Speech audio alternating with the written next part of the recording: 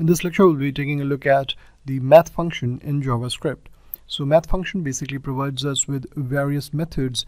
Like over here, we can see a max method, which gives you the maximum or the highest number in the list that we have.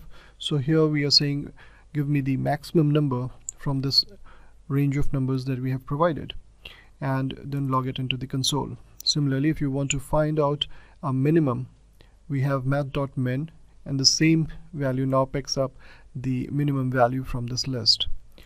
Similarly, if you want to apply this on an array, so here in ES5 syntax, we have to make use of the apply method and we have two alternatives. For instance, if I want to get the min value from this array, I would say math.min.apply and then either pass math or null and then the array.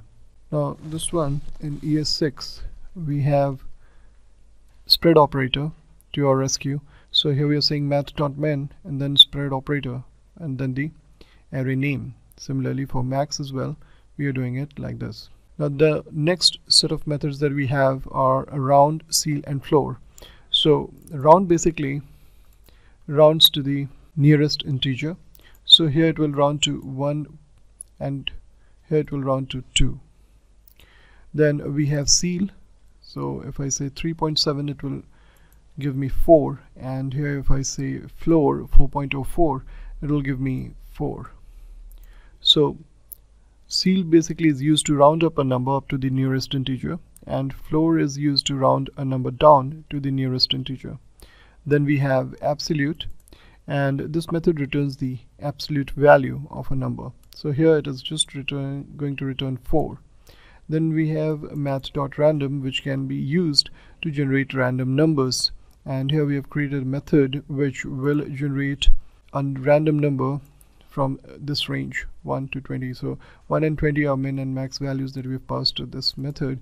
And then we are logging the number in the console.